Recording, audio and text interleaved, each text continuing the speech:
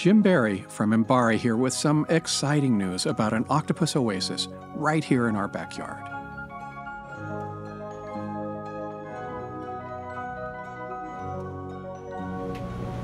Okay, now we're ready to go ahead and pick up. Welcome to Davidson Seamount. This stunning extinct underwater volcano is just 90 miles southwest of MBARI headquarters in Moss Landing, California. It was here that researchers observed thousands of octopus incubating their eggs.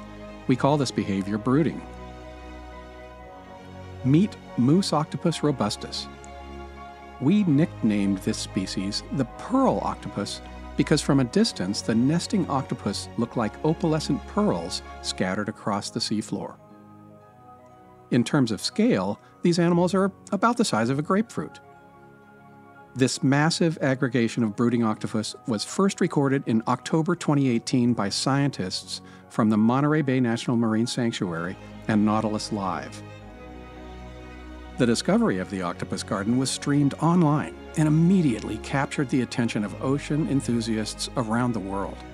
Of course, it sparked our curiosity too. What makes this location so special? Is it the food, the company, or maybe something else the garden is providing. The MBARI research team visited the octopus garden 14 times over the course of three years to learn more. We surveyed the area using a suite of advanced technologies, including many custom built by MBARI engineers. An innovative sensor suite on our robotic submersible Doc Ricketts combined lasers and high resolution photography to map parts of the octopus garden in remarkable centimeter scale detail. We counted more than 6,000 octopus in just a part of the octopus garden, but there are likely more than 20,000 in total. Our skilled pilots carefully maneuvered instruments inside and around the octopus nests to gently measure water conditions like temperature and oxygen.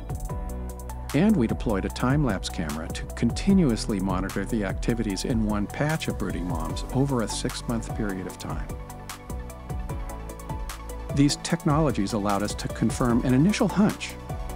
The octopus nests were clustered in crevices bathed by warm hydrothermal springs.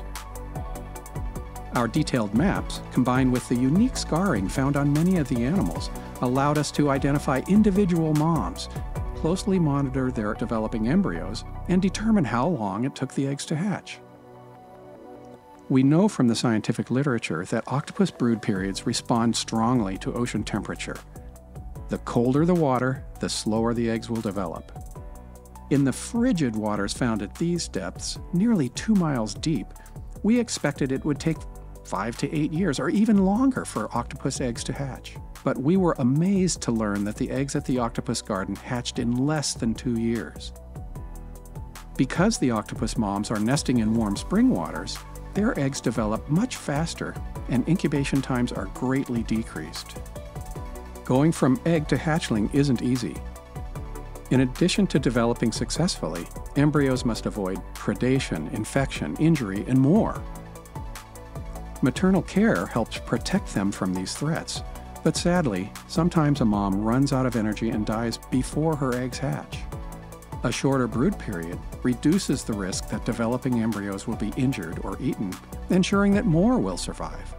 Warmth from the hydrothermal springs very likely gives them a big boost. As with other octopus species, pearl octopus die soon after reproducing. Their job is done and their journey is complete. But nothing goes to waste in the deep sea. The octopus bodies become an important source of food for the shrimps, snails, anemones, and other animals that call this special place home. The octopus garden supports a thriving community of life. Essential biological hotspots like this deep sea nursery need to be preserved. Fortunately, thanks to ocean champions like you the Monterey Bay National Marine Sanctuary now protects Davidson Seamount and the Octopus Garden. But in other regions, threats like deep sea mining have the potential to harm these remarkable underwater communities. We expect there may be many more areas like this that remain undiscovered. Share what you've learned, and let's raise awareness for protecting the unique animals and environments that dwell deep beneath the ocean's surface. For the entire team here at MBARI, thanks for watching, and be sure to follow us on YouTube.